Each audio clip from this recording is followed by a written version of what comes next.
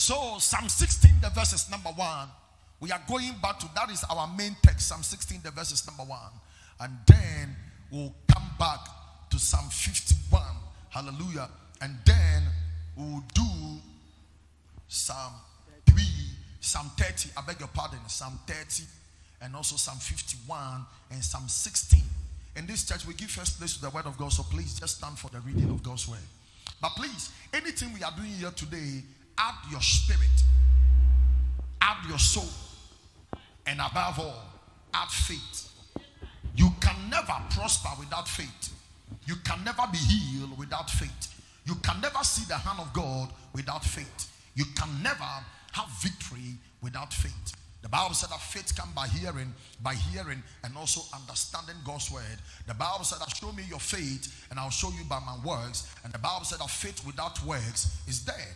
Am I talking to somebody at all? So, ladies and gentlemen, we act by faith, we speak by faith. Anything we are doing is by faith.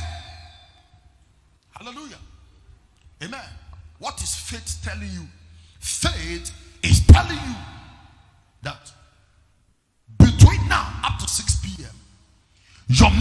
money will be released. Faith is telling you, and anybody that also have faith, shout amen.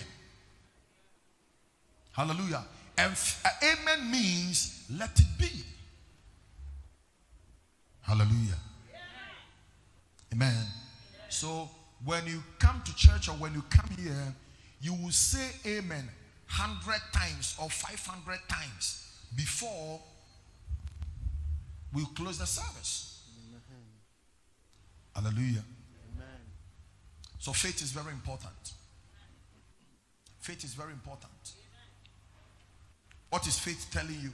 That is another time. But Psalm 16, the verse is number 4. Let's listen to the reading of God's word. Psalm 16, the verse number 1. The verse is number 1, yes. Preserve me, O God, for in thee I put my trust. Let's pray. Eternal Father, in the name of the Lord Jesus, we thank you for the clearance of thought that take this clay body and replace it somewhere so that nations and men and women across the nations of the world, mighty God, will be blessed. In Jesus' name, amen. Somebody sit down in heavenly places. Hallelujah. Amen. amen. So the Bible said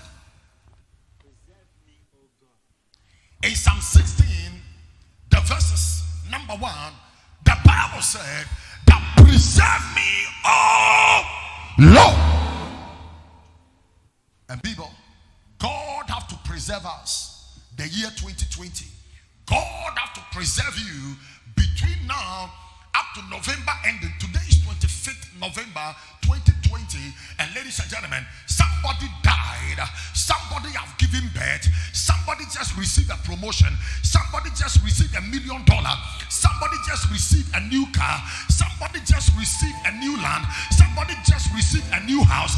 But ladies and gentlemen, I pray in the name of the Lord Jesus that may the year 2020 be a year that ladies and gentlemen, you are going to experience the favor of God. You are going to experience the grace of God. You are going to experience the healing power of God. I pray that may the year 2020 be a year that, ladies and gentlemen, the storm and the crisis and the pain will be over. The calamity will be over. The disaster will be over. I pray that may the year 2020 be a year that when people are rejected, you'll be accepted. When people are rejected, you'll be tolerated. When people are rejected, doors will begin to open for you. I came here by the mandate of God to tell a man, to tell a woman that get ready, that preserve me, oh Lord, preserve my husband, preserve my wife, future, preserve my children, preserve this ministry, preserve the name